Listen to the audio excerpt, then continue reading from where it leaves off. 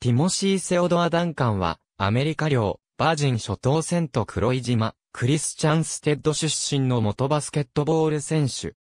身長211センチメートル、体重114キログラム。ポジションは、パワーフォワード。NBA のサンアントニオスパーズ一筋19年に渡り活躍し、スパーズに5度の NBA チャンピオンをもたらした。また2019から20シーズンは、サンアントニオスパーズのアシスタントコーチを務めた。ウェイクフォレスト大学時代にカレッジバスケの個人賞を総なめにした後、1997年の NBA ドラフトにて、サンアントニオスパーズから全体1位指名を受けて、NBA 入り。以後スパーズの黄金期を築き上げ、NBA ファイナルを5回制覇。個人としても、NBA ルーキーオブザイヤー、シーズン MVP 受賞2回、ファイナル MVP 受賞3回、デビューしてから2010年まで13シーズン連続で、オール NBA チーム、NBA オールディフェンシブチーム、オールスターに選ばれ続けた。プレーに華やかさはないため、地味というイメージがつきまとうが、その圧倒的な実績から、史上最高のパワーフォワードとの呼び声も高い。どんな試合状況であっても常に冷静な判断を失わず、基本に忠実なプレースタイルからザ・ビッグ・ファンダメンタルの愛称で知られる。ティモシー・セオドア・ダンカンは、メキシコ湾と大西洋の境に浮かぶアメリカ領、バージン諸島のセント黒い島で、石膏職人の父ウィリアムと助産婦の母イオンの間で生まれた。姉が二人より、姉の影響でダンカンは、幼馴染のラジャベルラと共に水泳を始め、トリシアのようなオリンピックレベルの選手になることを夢見た。家族の支えもあって、ダンカンの水泳の腕は上達し、自由形50メートル、100メートル、400メートルの1992年、バルセロナオリンピックアメリカ代表入りを目指し、バージン諸島代表として、ジュニアオリンピックにも出場している。しかし1989年に、巨大ハリケーンが島を襲い、島で唯一国際大会レベルの競泳が可能な、プールが使用不能になってしまったことでダンカンは水泳への情熱を失ってしまった。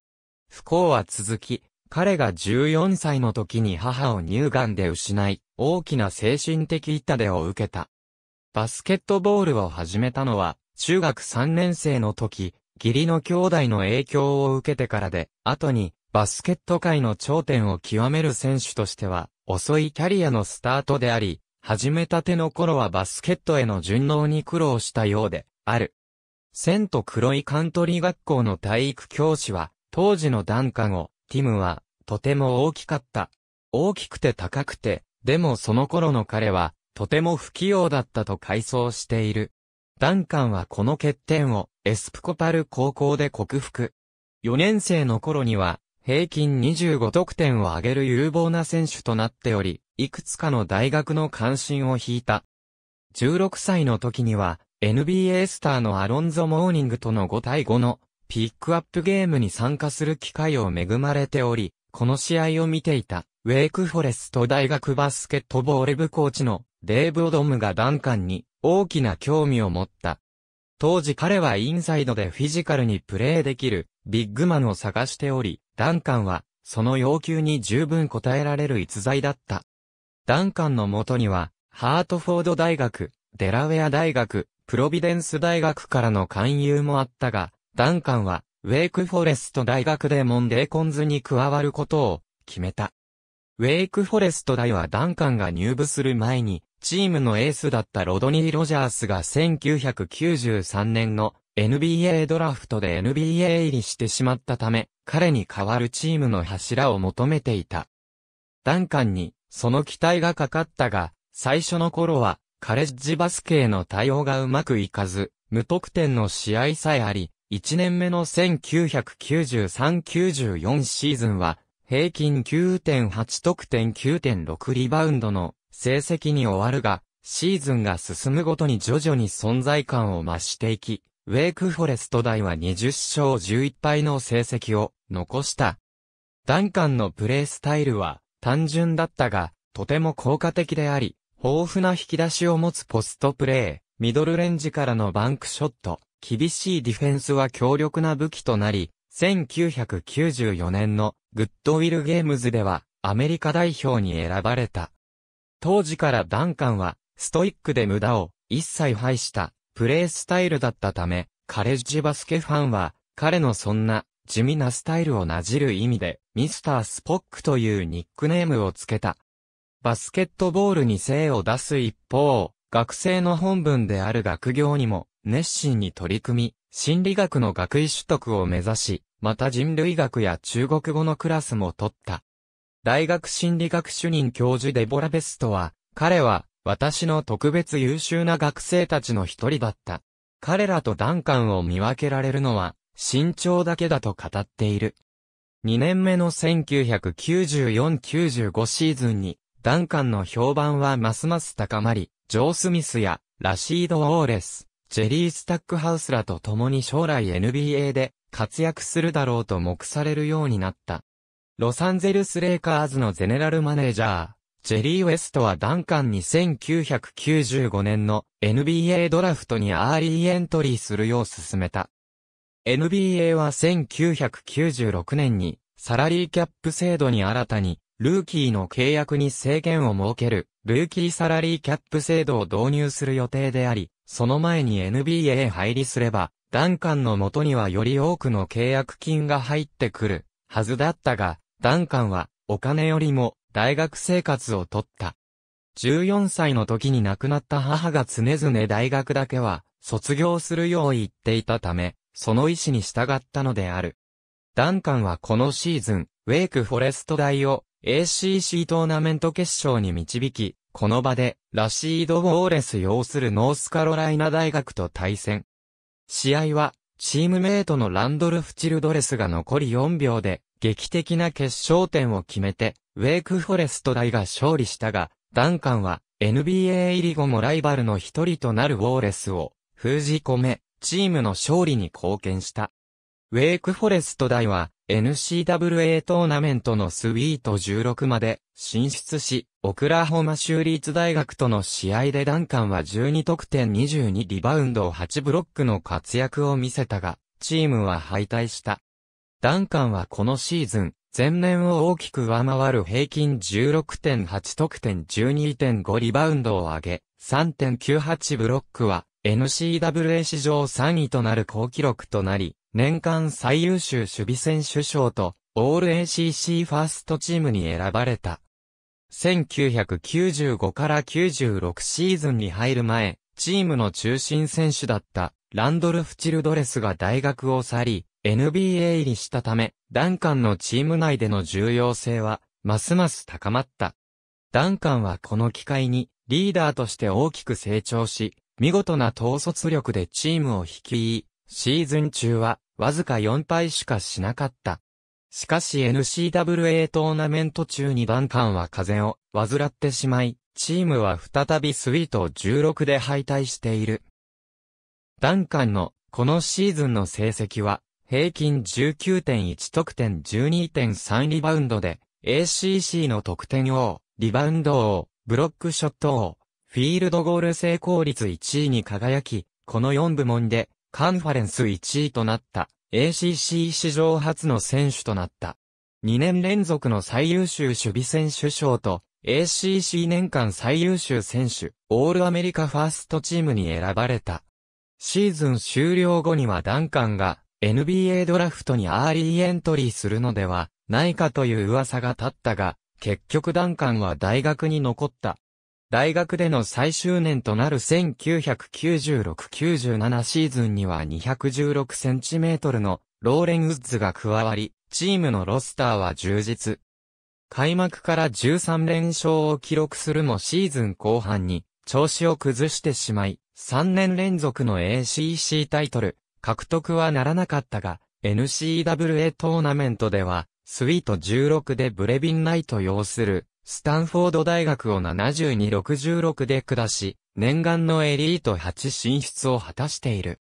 ダンカンの成績は、最終年にして、ついに大台の平均20得点10リバウンドを突破する20.8得点14.7リバウンド3.2アシスト、フィールドゴール成功率60.6%を上げ、NCAA1 部リーグのリバウンド王に輝くと、共に、先例のない3年連続の最優秀守備選手賞を受賞。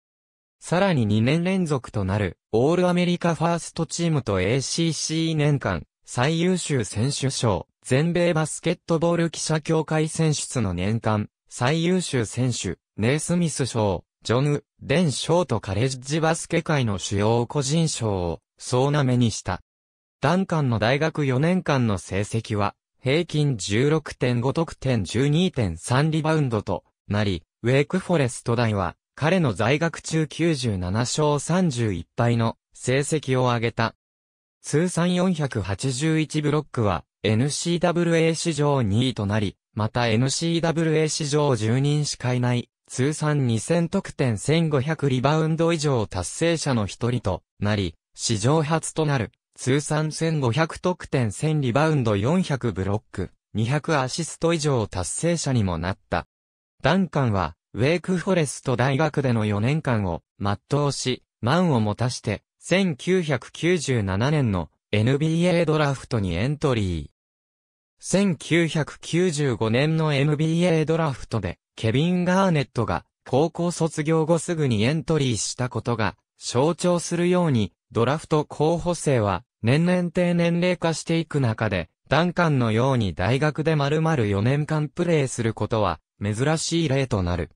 NBA にとっては待たされたダンカンの NBA ドラフトエントリーだったが、彼を指名できる幸運を得られたのが、サンアントニオスパーズだった。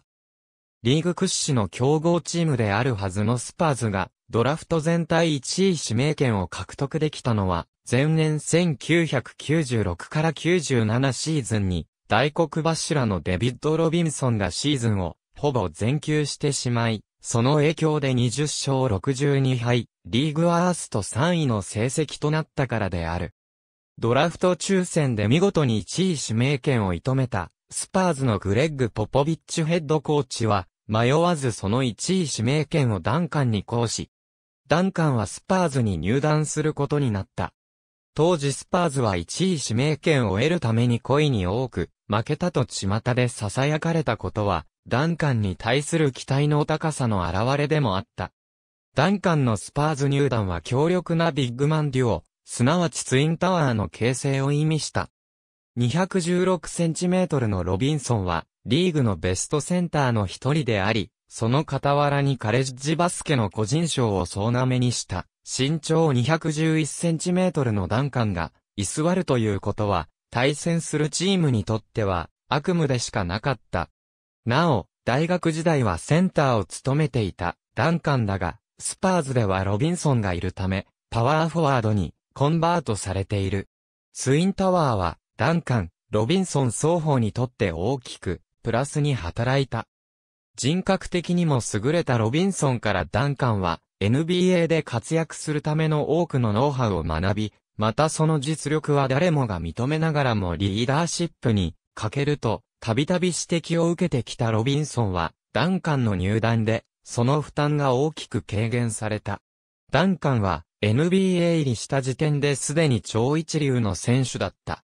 公式戦デビュー戦で15得点10リバウンドに、ブロックを記録したダンカンは、3戦目のシカゴブルズとの試合では当時リーグ屈指のローポストディフェンダーだったデニス・ロッドマンとマッチアップし、19得点22リバウンドを上げた。毎晩のように、ダブルダブルを重ね、すべての月間新人賞を独占。オールスターゲームにもコーチ推薦ではあるが出場。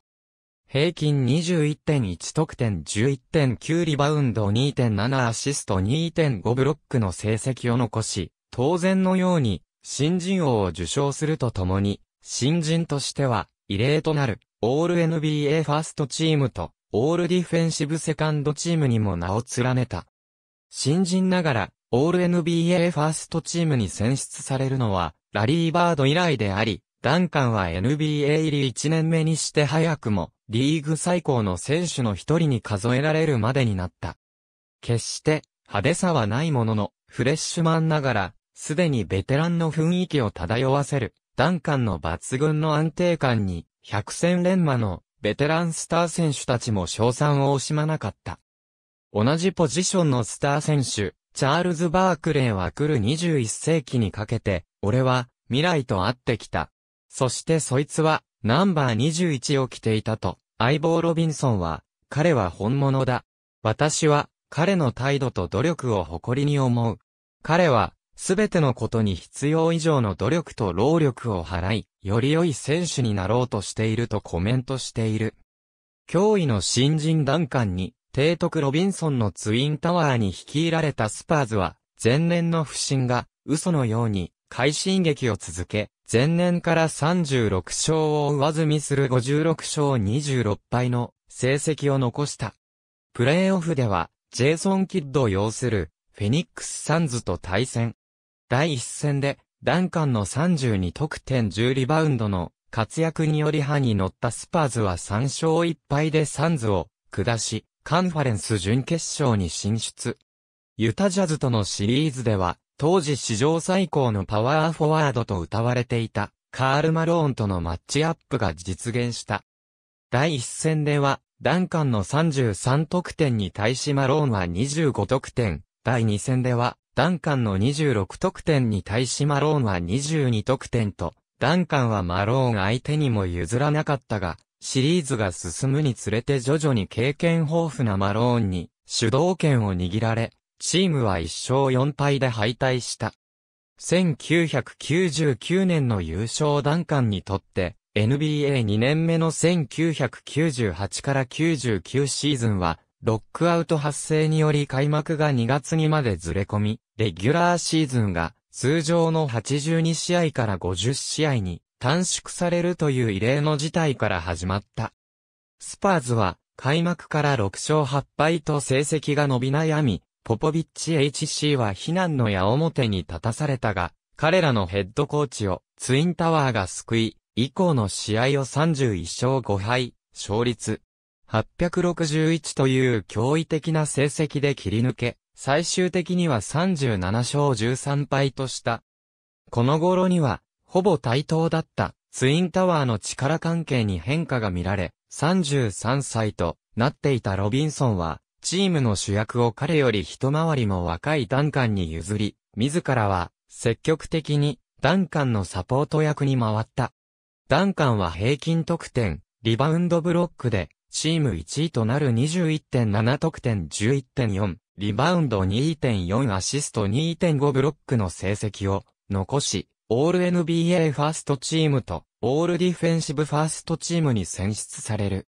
プレーオフ1回戦では、ダンカンと同い年ながら、NBA では2年先輩のケビン・ガーネットが率いる、ミネソタティンバーウルブズと対戦し、3勝1敗で、下すと、カンファレンス準決勝では、シャキール・オニール、コービー・ブライアンと要する、ロサンゼルス・レイカーズを4戦全勝で一周。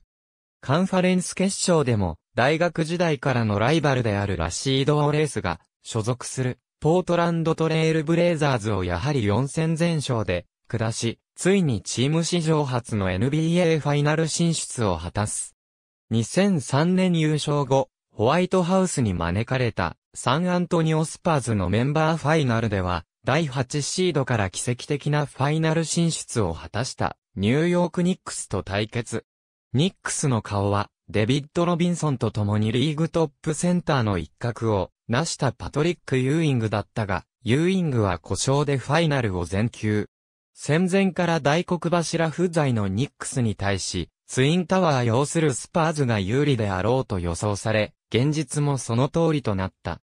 初のファイナルという大舞台に第一戦前半のダンカンは、わずか4得点にリバウンドに終わったが、後半に入ると復調し、終わってみれば33得点16リバウンドで、チームを勝利に導いていた。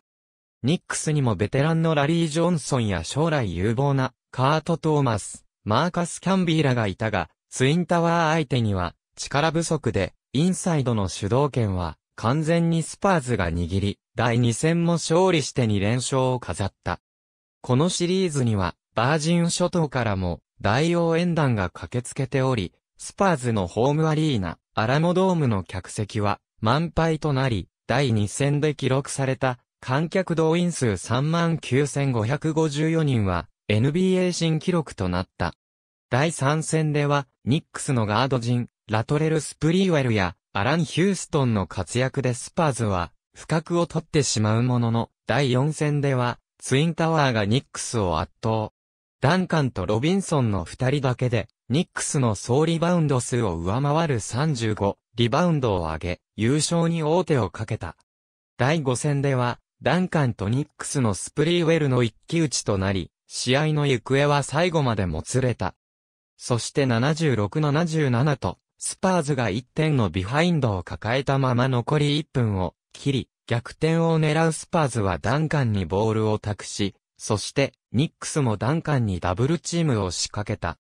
ダンカンはすぐにチームメイトのショーン・エリオットにパスを送り、そしてエリオットはコーナーサイドでフリーで待つエイブリー・ジョンソンにパス。ジョンソンのジャンプシュートが決まり、スパーズに劇的な逆転勝利をもたらした。シリーズ4勝目を挙げたスパーズが、チーム史上初の、そして、ロビンソンにとっても、NBA10 年目の節目の年に、初めての優勝を果たし、そして、ダンカンは NBA 入り2年目にして、最初のチャンピオンリングを手に入れるとともに、シリーズ平均27.4得点14.0、リバウンドの成績でチームを優勝に導いたとして、ファイナル MVP の称号も手に入れた。2年目でのファイナル MVP 受賞は、カリーム・アブドゥル・ジャバーと並ぶ、歴代2番目の速さである。レイカーズの壁早くも NBA における最大の成功を手にしてしまったダンカンだったが、チャンピオンチームとして臨んだ1999から00、シーズンも慢心することなく、平均23.2得点12.4リバウンドを記録して、もはや常連となったオール NBA ファーストチーム、ディフェンシブファーストチームに選ばれるとともに、24得点14、リバウンド4アシストを挙げた、オールスターゲームでは、シャキール・オニールと共にオールスター MVP を共同受賞した。しかし、スパーズ自体は、チームの高齢化に悩む時期に入っており、デビッド・ロビンソンや、エイブリー・ジョンソン、ショーン・エリオット、マリオ・エリーら主力選手は、皆30代半ばに入っており、チーム全体に疲弊が見られ、このシーズンは53勝29敗と、チャンピオンチームとしてはやや物足りない成績に終わった。また前年ついに優勝を果たしたスパーズだったが、通常の82試合を戦い抜いた上での優勝ではないため、本物の優勝ではないという声が周囲から上がっており、正当な評価を受けるためにも、スパーズとダンカンには連覇の期待がかかったが、ダンカンは肝心のプレーオフで、チームの力になれなかった。ダンカンは、レギュラーシーズン終盤で負った怪我が回復せず、プレーオフ全休を強いられ、チームのエースを失ったスパーズは1回戦で、サンズの前に敗退してしまった。このオフにフリーエージェントとなったダンカンは、オーランドマジックからオファーを受け、一時は移籍寸前まで行ったが、バカンス中だったロビンソンが慌てて、ダンカンの元を訪れ、スパーズに残留する、よう説得。結局ダンカンは、マジックのオファーを断って、スパーズと再契約を結んだ。翌2000から01シーズンに怪我から回復したダンカンは平均22.2得点12.4リバウンド、オール NBA ディフェンシブ両チームで、ファーストチーム入りするという例年通りの成績を残し、スパーズもデレック・アンダーソン、アントニオ・ダニエルズといった若い血をチームに注ぎ、前年を上回る58勝24敗を記録。プレーオフでは1回戦でティンバーウルブズを3勝1敗で、カンファレンス準決勝では後にダンカンとスパーズの強力なライバルとなるダーク・ノビツキー擁するダラスマーベリックスとの初対決を4勝1敗で制し、ここまで順調に勝ち上がったが、カンファレンス決勝で前年チャンピオンのロサンゼルスレイカーズが立ちはだかる。シャキール・オニールにコービー・ブライアントという強力なデュオに率いられ、当時黄金期を迎えていたレイカーズに、スパーズは全く歯が立たず、屈辱の4戦全敗を喫した。ダンカンは、シリーズ第2戦で40得点を挙げるなど、奮戦したが、第3戦では9得点、第4戦では15得点に終わるなど不甲斐ない場面も見られた。スポーツイラストレーテッド誌はこのシリーズのスパーズを、哀れみをもって、無慈悲で不公平な組み合わせと評し、また、ダンカンを、スパーズが最も必要とする時に消えてしまうと、酷評した。2期連続で期待外れの結果に終わったスパーズとダンカンだったが、2001から02シーズンのダンカンは、個人としては絶頂期を迎えた。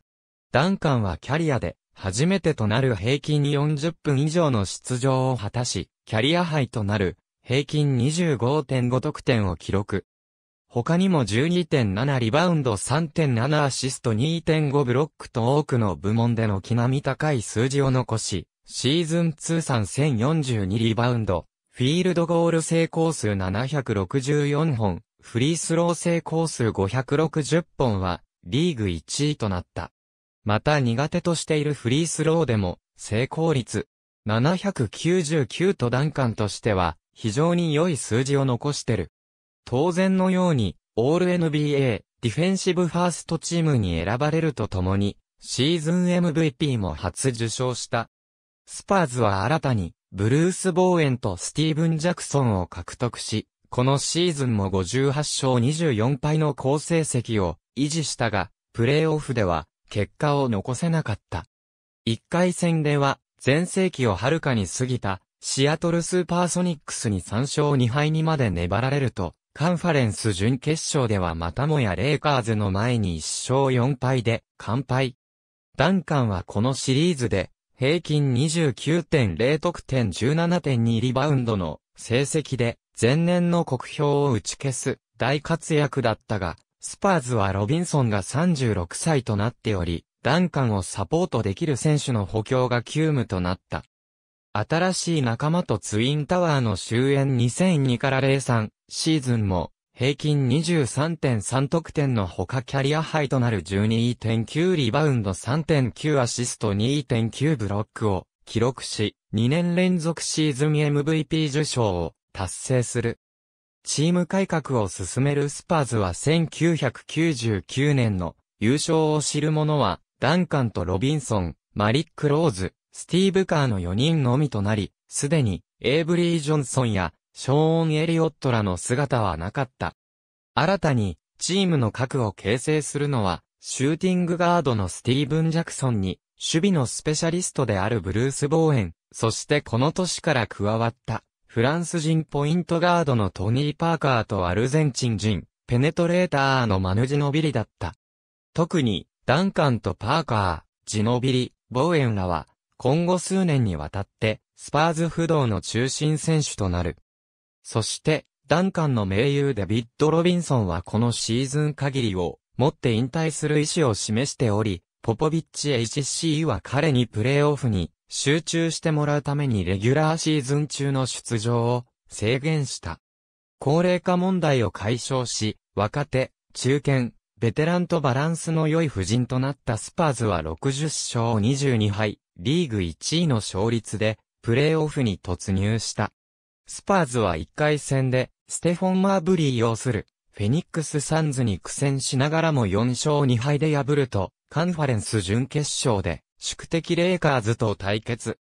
ダンカンはシリーズが決した第6戦で37得点16、リバウンドを上げるなどし、スパーズは4勝2敗で宿願となる打倒レイカーズを果たすとともに3年間続いたレイカーズによるリーグ支配に終止符を打った。カンファレンス決勝でマーベリックスを下したスパーズは、1999年以来となるファイナルに進出。ジェイソン・キッド率いるニュージャージーネッツと対決するが、ネッツにはダンカンに抵抗できるようなビッグマンはおらず、ダンカンは第一戦から思う存分暴れ回り、32得点、20リバウンド6アシスト7ブロック3スティールと5部門すべてでチームハイを叩き出し、チームを勝利に導いた。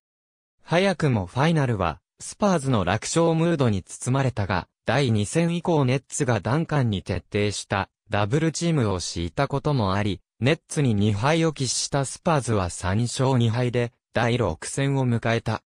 この試合でダンカンは21得点20リバウンド10、アシスト8ブロックと、あとブロック2本でクワドルプルダブルに迫る、快記録を残し、ネッツを粉砕。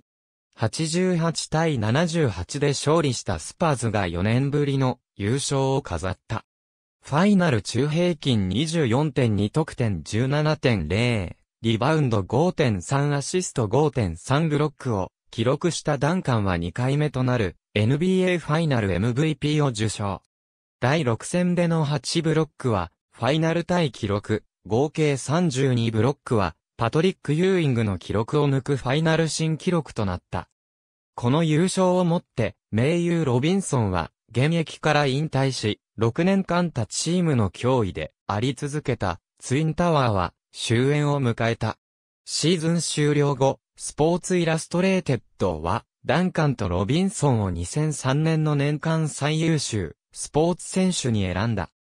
ロビンソンの引退によりスパーズは新たな時代を迎え、パーカー、ジノビリ、ボーエンに加え、多彩なトルコ人フォワードのヒド・ターコルー、レイカーズ時代にはスパーズを苦しめたロバート・オーリーが加わり、ダンカンにはロビンソンが14年で築き上げた遺産を引き継ぎ、スパーズの真のリーダーになることが求められた。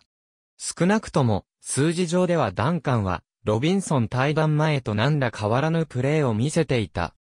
2003から04シーズンは、平均22.3得点12.4、リバウンドを上げ、チームも57勝25敗と前年から3勝減だったもののリーグ3位の好成績だった。プレーオフ1回戦では、パウガソルが所属するメンフィスグリズリーズを4戦全勝で下すと、カンファレンス準決勝で因縁のレイカーズと対決。このシーズン、レイカーズは、カール・マローンに、ゲイリー・ペイトンと、大物二人を獲得するという、思い切った補強をしていたが、マローンの故障もあり、レギュラーシーズン中は補強の効果はあまり見られず、成績ではスパーズに劣る56勝26敗の成績だった。スパーズは第1戦、2戦を連勝するも、第3戦ではダンカンが10得点に抑えられたことで、敗北すると、以降連敗を重ね、第5戦では、レイカーズのデレック・フィッシャーによる残り0.4秒からの大逆転ショットを許し、結局スパーズは4連敗で敗退した。ロビンソンの回想によれば、当初ダンカンは、チームリーダーという重責を担うことに抵抗を感じていたらしく、ダンカンが真のリーダーシップを得るには、若干の時間を要したようである。2005年の優勝ピストンズのベン・ウォレスとマッチアップするティム・ダンカン2004から05シーズン、ダンカンは故障の影響もあって、過去最低となる平均20.3得点11.1リバウンドの成績に終わるが、チームは引き続き好調でこのシーズンは59勝23敗を記録。プレーオフでは、デンバーナゲッツやスーパーソニックスを破って、順調にカンファレンス決勝に進出し、このシーズンスティーブ・ナッシュを獲得して大躍進を遂げたフェニックス・サンズと対戦。リーグ1位のオフェンス力を誇るサンズ相手に、ディフェンス重視のスパーズは珍しく、ハイスコアゲームを展開したが、サンズの脆いディフェンスを突き崩したスパーズが4勝1敗でシリーズを制し、2年ぶりのファイナル進出を果たす。ファイナル、前年レイカーズを破って優勝していた、デトロイトピストンズとの対決はダンカンにとっては、試練となった。ピストンズが誇る二人のビッグマン、ベン・ウォーレスとラシード・ウォーレスを相手にしなければならなかったからである。ベンは4度の最優秀守備選手賞に輝く、ローポストディフェンスの鬼であり、また、大学時代からのライバルであるラシードも厄介な、ーディフェンダーだった。ダンカンは二人のウォーレスの徹底したダブルチームに苦味得点が伸び悩んだが、マヌジノビリの活躍もあって、第一戦、第二戦をスパーズが連勝する。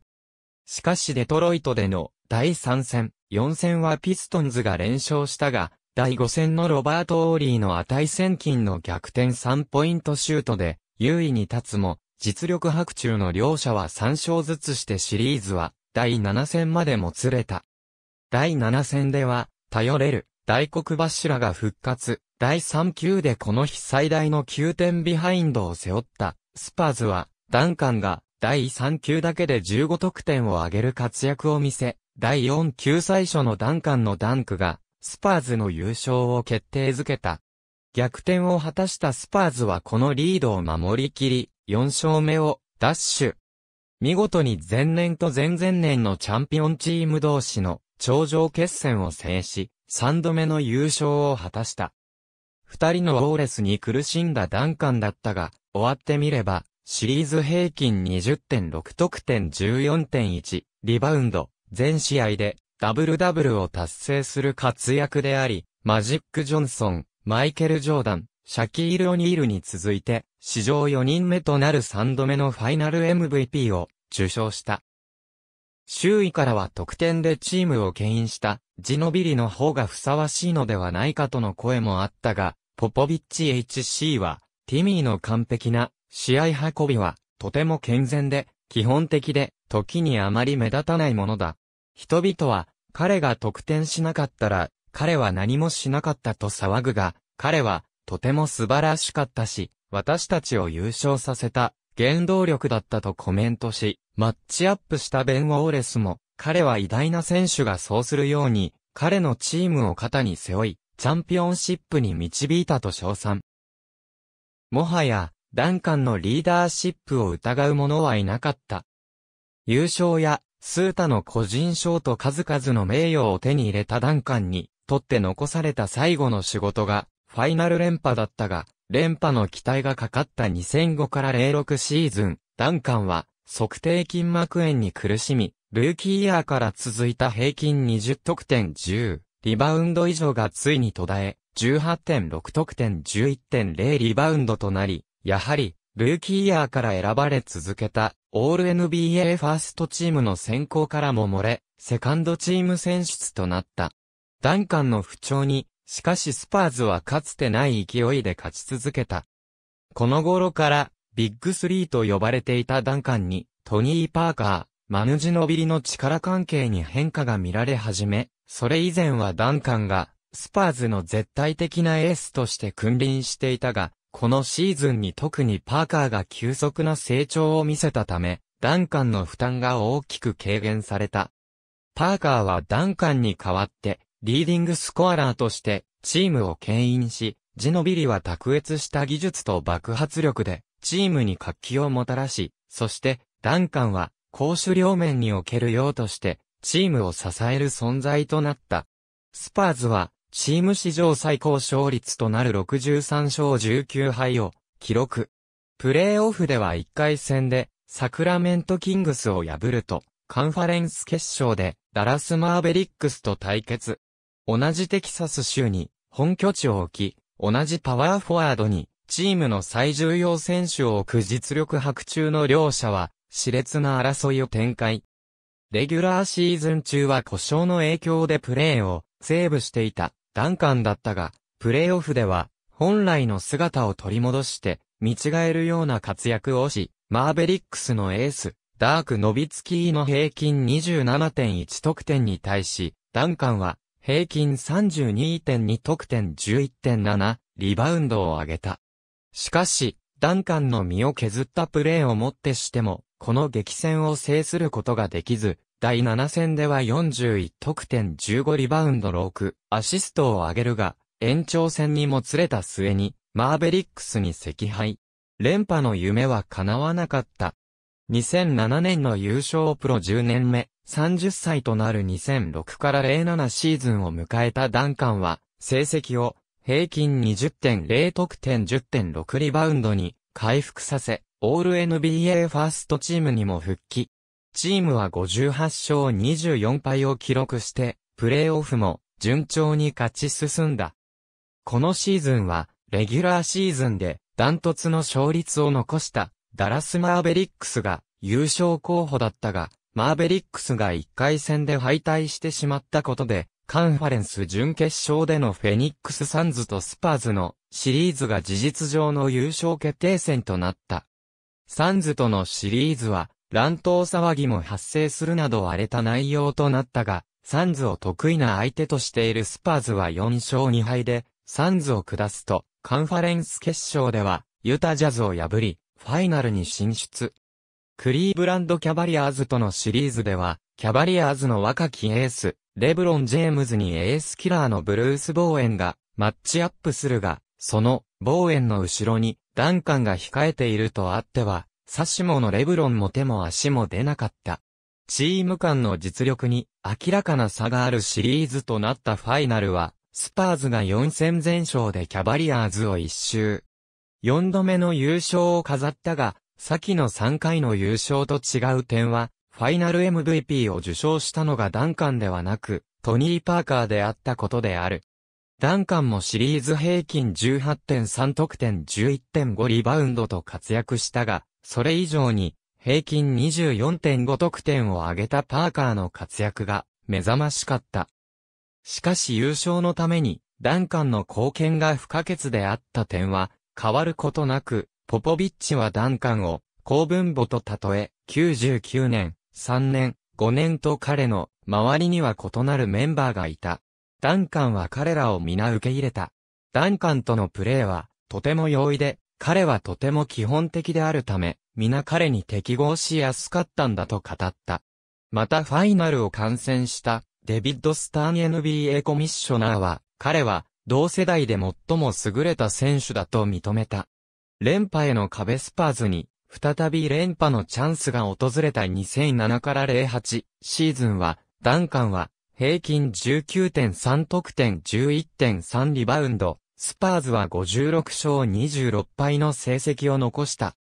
プレーオフ1回戦では、元レーカーズで過去に何度も、スパーズとダンカンを苦しめてきたシャキール・オニールが、電撃移籍してきた、打倒スパーズを目指すフェニックス・サンズと対戦。ダブルオーバータイムにもつれる接戦となった第一戦は、一つ目のオーバータイム終盤で3点ビハインドを背負った状況から、ダンカンの珍しい 3P シュートが決まるという劇的な場面も見られ、ダンカンが40得点を挙げたスパーズが勝利。勢いに乗ったスパーズは4勝1敗でこのシリーズを制した。カンファレンス準決勝では、ライジングチームのニューオーリンズ・ホーネッツと対戦。若手ナンバーワンポイントガードのクリス・ポールに手を焼いた。もののこれも4勝3敗でかろうじて退け、夢の連覇にまた一歩近づいたが、ダンカンの前に立ちはだかったのが、オニールの放出による一時の低迷から復活したロサンゼルスレイカーズだった。コービー・ブライアントにパウガソル擁するレイカーズにホーネッツとのシリーズで疲弊していたスパーズは一勝するのがやっとで一勝四敗でまたもやスパーズの連覇はならなかった。衰えの始まり2008から09シーズンは、ダンカンの衰えが指摘され始めたシーズンだった。膝に慢性的な故障を抱えるダンカンは、それでも、平均19.3得点10.7リバウンドと、立派な成績を残し、チームも、ダンカンの他に、マヌジノビリなどの故障を抱えた状況ながら、ディビジョン1位となる54勝28敗を挙げた。しかし1999年の優勝以降に襲われた高齢化問題に再び直面するスパーズは力をつけたレイカーズやボストンセルティックスなどの優勝候補チームの有力な対抗馬とはみなされず、プレーオフでは1回戦でダラスマーベリックスの前に敗退。スパーズにとっては2000年以来となる1回戦敗退となった。2009から10シーズンは主力の高齢化がさらに進み、ポポビッチは、プレーオフに向けた、レギュラーシーズンの徹底的なプレータイムの管理を行った。ダンカンも、プロ入り以来最も短いプレータイムとなり、平均17.9得点とキャリア最低の平均得点となり、プレーオフに突入した。万全の体調で迎えた、プレーオフ1回戦で、第2シードのマーベリックスを撃破し、アップセットを達成。しかし、カンファレンスセミファイナルではサンズに0勝4敗のスイープを喫しシーズンを終了した。2010から11シーズンはダンカン率いるスパーズは、ウェスタンカンファレンスを首位で突破。だが、プレーオフ初戦でザック、ランドルフとパウガソルの弟のマークガソル率いる第8シードのメンフィスグリズリーズと対戦。グリスリーズは、徹底的にダンカンにマークして、インサイドを制圧し、4勝2敗で、チーム史上初のプレーオフで勝利を挙げた。第1シードのチームが、第8シードのチームに負けることは珍しく、ファーストラウンドが7試合制になった以降としては、史上2回目の出来事だった。NBA オールディフェンシブチームは、ティム・ダンカンの通算14回が最高記録円熟と、数々のマイルストーン2012から2013シーズンには、オール NBA ファーストチーム、オールディフェンシブセカンドチームに選出された。2013年、カンファレンスファイナル第3戦で、ダンカンは、プレイオフでの通算ダブルダブルを144とし、143回のウィルト・チェンバレンを抜き、歴代2位となった。1位は、マジック・ジョンソンの157回、4位は、シャキール・オニールの142回、5位は、ビル・ラッセルの137回である。レブロン・ジェームズ、ドーエイン、ウェイド、クリス・ボッシュのビッグスリーを要する、マイアミヒートとの対決となった NBA ファイナルは、近年稀に見る接戦となり、これまで4度のファイナル進出では全て優勝していたが、初めてファイナル敗退を喫した。最終戦の勝負所で、ティップショットを外したダンカンは、珍しく、感情をあらわにし、フロアを叩いて、悔しがった。このファイナル敗退は、生涯忘れることはないだろうと語っている。2014年プレーオフ、カンファレンスセミファイナル第3戦で、ポストシーズン通算得点で、カール・マローンを抜き歴代5位となった。またこの試合で通算プレーオフ出場試合数を221試合とし、1フランチャイズでの最多出場選手となった。2位は、コービー・ブライアントの220試合であり、この試合数は他の15フランチャイズのプレーオフ全試合数よりも多い。複数チームでの出場数では、デレック、フィッシャーの250試合、ロバート・オーリーの244試合、カリーム・アブドゥル・ジャバーの237試合が上位にある。カンファレンス優勝を決めた第6戦の勝利で、ダンカンは通算勝利数を1042勝とし、歴代4位で、ジョン・ストックトンと並んだ。マイアミヒートとの再戦となった2014年ファイナル、第1戦で21得点10リバウンド、第2戦で18得点15リバウンドを記録し、マジック・ジョンソンのプレーオフ通算ダブルダブル記録の157に並ぶともに、第1戦では1972年のウィルト、チェンバレン以来となる、ファイナルで20得点10リバウンド以上で、フィールドゴール成功率90%以上の記録を達成した。ファイナル第3戦に引き続き4戦もアウェーで、ヒートに圧勝する中で、4戦で10得点11、リバウンドを記録し、プレーオフ、ダブルダブル記録を158とし、さらにファイナル出場時間もカリーム・アブドゥル・ジャバーを超え、歴代単独1位となった。この更新に関して、ジャバーはツイッターで、賞賛のツイートをしている。ファイナル第5戦もヒートを圧倒し、5度目のチャンピオンとなった。通算勝利数は1046となり歴代4位となった。1位は、ジャバーの1228勝、2位は、ロバート・パリッシュの1121勝、3位は、カール・マローンの1050勝である。シーズン終了後、引退も囁かれたが、プレイヤーオプションを行使し18年目となる2014から2015シーズンも現役続行を決めた。レギュラーシーズン勝利数記録は、ジャバー1074勝、パリッシュ1014勝、ジョンストックトン953勝、マローン952勝、この時点でのダンカンは898勝である。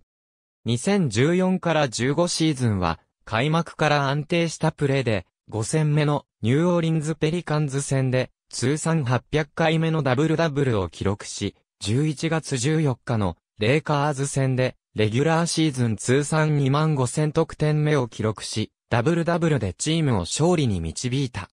12月5日のタイグリズリーズ戦で14得点10、アシスト10リバウンドを獲得し、自身通算8度目のトリプルダブルを記録した。これはカール・マローンの40歳に次ぎ、38歳244日で第2位の年長記録となった。12月31日のペリーカンズ戦を延長で制する中、ウォルト・ベラミーを抜き、歴代10位となる14,250リバウンドを達成し、814回目のダブルダブルで、歴代5位のカール・マローンに並んだ。2月23日のユタジャズ戦で、18年連続シーズンリバウンド500以上を達成し、ロバート・パリッシュと並び、歴代1位となった。2位は16年で、モーゼス・マローン、カリーム・アブドゥル・ジャバー。4月22日、プレーオフファーストラウンド第2戦となる、ロサンゼルスクリッパーズ戦、開始直後、フローティングジャンプショットを決め、プレーオフ通算5001得点を達成した。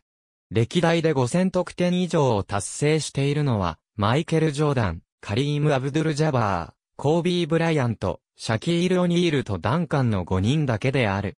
オーバータイムとなったこの試合で、28得点、11、リバウンドを上げ勝利に貢献し、通算得点を5027得点とした。このシーズンは、ファーストラウンドで、ロサンゼルスクリッパーズに敗れたが、プレイオフ出場試合数は、歴代3位の241試合に達した。2015年7月2日、ダンカンは、引退説を一掃し、スパーズと1年間の契約を結び、派遣奪回に挑むことになった。2015から16シーズン開幕3戦目のボストンセルティックス戦で勝利し、トニー・パーカー、マヌジノビリトのトリオのレギュラーシーズン勝利数は541勝となり、NBA 歴代1位となった。歴代2位のトリオは、ボストンセルティックスのラリー・バード、ケビン・マクヘール、ロバート・パリッシュで540勝。この時点でグレッグ・ポポビッチとダンカンでの勝利数は953勝で、こちらも歴代1位を更新中であり、カール・マローンとジェリー・スローンの記録と、ジョン・ストックトンとジェリー・スローンの記録が、この記録に次ぐ。2015年11月2日、マディソン・スクエア・ガーデンで行われた、ニューヨーク・ニックス戦で、16得点、10リバウンド、6アシストを記録し、スパーズを勝利に導き、同一チームにおける、レギュラーシーズン勝利数を954勝とし、ユタジャズで953勝を達成した、ジョン・ストックトンを抜き、歴代1位の記録を打ち立てた。3位は、ユタジャズのカール・マローンの919勝である。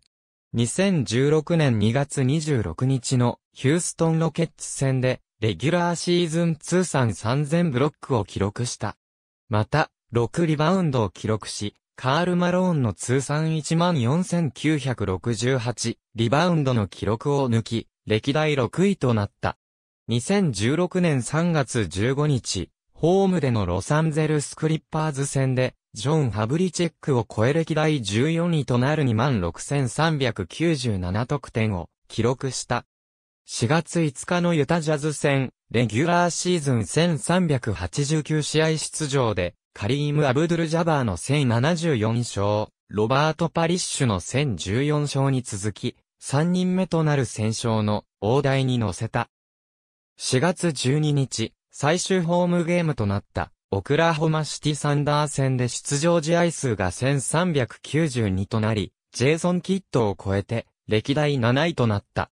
この試合はオーバータイムの末に勝利し、NBA シーズンホーム最多勝利記録、1985から86シーズン、ボストンセルティックスの40勝に並んだ。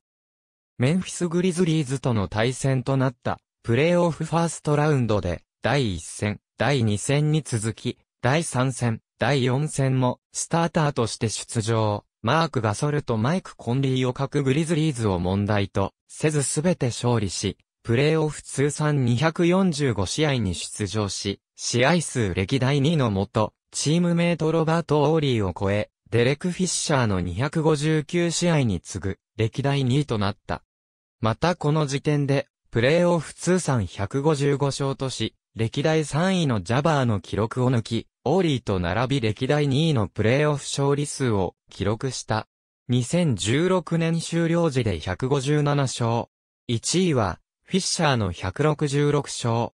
2016年6月28日、2016から17シーズンの契約を行使して、現役続行を決意したかに思われた。現役引退へ2016年7月11日、スパーズは記者会見を開き、ダンカンの現役引退を発表。スパーズに5度の栄冠をもたらしたダンカンは、ついに19年にわたる選手生活に終止符を打ったのであった。2016年11月16日、スパーズはダンカンが着用していた背番号21を永久欠番にすることを発表。同年12月18日のニューオーリンズペリカンズ戦の試合後に永久欠番セレモニーが盛大に取り行われた。2020年4月4日、現役時代の多大な功績から1月にヘリコプター事故で急逝したコービー・ブライアントらと共に殿堂入りしたことが発表された。ダンカンは1998年のバスケットボール世界選手権のアメリカ代表に選ばれたが、この時はロックアウトの影響で NBA 選手の代表入りは見送られ、大学生選手や CBA の選手と入れ替わっている。ダンカンが初めて代表チームに参加したのは1999年のオリンピック予選を兼ねたバスケットボールアメリカ選手権であり、彼は大会平均12.7得点9.1、リバウンド2.4ブロックの成績でチームを優勝に導いた。しかし、本番の2000年シドニーオリンピックは膝の故障で参加できなかった。2003年のアメリカ選手権でも代表入りし、平均15.6得点8.0リバウンドを記録して優勝。満を持たしてアテネオリンピックに出場するも、アメリカ代表は期待を裏切って、ダンカンのチームメイトであるマヌジノビリがいる、アルゼンチン代表に敗北するなど同大会で参拝を喫し、銅メダルに終わった。アメリカ代表がオリンピックに NBA 選手を送り出すようになって、以来、金メダルを獲得できなかったのは初めてのことだった。ダンカンはオリンピック終了後、代表から引退することを表明。ダンカンは代表に5回参加し、40の国際試合に出場した。一つ一つのプレーの安定感、正確さ、自己犠牲も厭わないチームを第一に考えた、献身的な態度、勝者のメンタリティを持つ、精神的に浮ついたところの、ないたくましさなど、現役時代は最も信頼された、パワーフォワードの一人であった。アウトサイドからのシュートも驚くべき、正確性を誇る攻守ともに、抜群の才能を見せる。ダンカンがプレーする時代の NBA は、パワーフォワードの層が非常に充実しており、彼が NBA 入りした頃には、カール・マローンやチャールズ・バークレー、クリス・ウェバーらが、そして彼の同世代には、ケビン・ガーネットやダーク・ノビツキ、ラシード・オーレス、ジャーメイン・オニールらがいたが、そんな猛者たちを抑えて、ルーキーイヤーから8年連続オール NBA ファーストチームに選出され続けたことは、彼が同時代における最高のパワーフォワードであったことを意味している。また、優勝5回、シーズン MVP2 回、ファイナル MVP3 回と、過去これに匹敵するほどの実績を残したパワーフォワードはおらず、カール・マローンを指導したユタジャズのジェリー・スローン HC をして、ダンカンを史上最高のパワーフォワードと言わしめたほどである。また、11回の優勝を誇るビル・ラッセルはダンカンを同世代において最も有能な選手と評し、カリーム・アブドゥル・ジャバーも彼の意見を支持した。身体能力が高い方ではないが、抜群のバスケット IQ と無駄を一切排したプレースタイルで、ダンカンはリーグトップクラスのスコアラーであり、リバウンダーであり、ショットブロッカーであり、ディフェンダーであり、そして、クラッチプレイヤーであった。重要な時間帯ほど多用される、ダンカンの一オ日は、ミドルポストで、ディフェンダーと整体した状態から開始され、その場からのジャンプシュートやドライブからのフックシュートなどが展開され、それは至極単純なプレーであるが彼を止めることは困難だった。バックボードの使い方が非常に優れており、バンクショットを得意としていることでも知られ、またパスセンスも高く、ディフェンダーに囲まれた際もフリーの味方にパスアウトできる、判断力と柔軟性を持ち合わせていた。通算ダブルダブル達成回数歴代1位という成績が示すように抜群の安定感を持っていることもダンカンの大きな長所である。スパーズのチームカラーである強力なディフェンスも、ダンカンの存在が根底にあり、ブルース・ボーエンが現役時には、ペリメーターにボーエン、インサイドにダンカンと鉄壁の守備が構築され、多くのスコアラーが袋小路に迷い込んでは彼らの餌食となった。さらにプレイオフに入ると、個人成績が軒並み上昇することからもわかるように、より重要な試合で進化を発揮できる選手である。2001から2002シーズンでは得点、リバウンド、ブロックショットなどの5つの部門で、リーグトップ10入りを果たした。彼の唯一の弱点と言われている、フリースローは、キャリア通算の成功率が70%に届いていないが、致命的に低いというほどのものではない。ただし、シーズンによって59%から79%と、ばらつきがあると言える。全試合フル出場の回数こそ少ないもののすべてのシーズンで65試合以上出場しており、接触プレーが多いインサイドのポジションを主戦場とするが怪我にも強かった。大黒柱ダンカンの長期欠場が少ないため、チームもダンカンが加入した1997から1998シーズン以降全30チーム唯一のすべてのシーズンで勝率6割以上を記録している。勝利への道を最短で行くような彼のプレーはしばしば退屈であると指摘され、1999年の優勝時にスポーツイラストレーテッド氏は、ファイナル MVP に輝いたダンカンを、静かで退屈な MVP と評し、またシャキール・オニールから付けられたニックネーム、ザ・ビッグ・ファンダメンタルも最初は決して、ダンカンを称賛する意味ではなかった。このような評価に対してダンカンは気にならない。好きなように批評すればいいと、大然自弱の態度である。ダンカンの二人の姉、シェリルとトリシアも、ダンカン同様に、スポーツの才能に恵まれ、トリシアは1988年ソウルオリンピックのバージン諸島競泳代表だった。ダンカンは2001年に結婚し、2005年に長女が、2007年には長男が生まれた。ダンカンの元妻、エイミーは、サンアントニオや、ウィンストンセーラム、バージン諸島で、チャリティー活動を展開するティムダンカン財団を管理していた。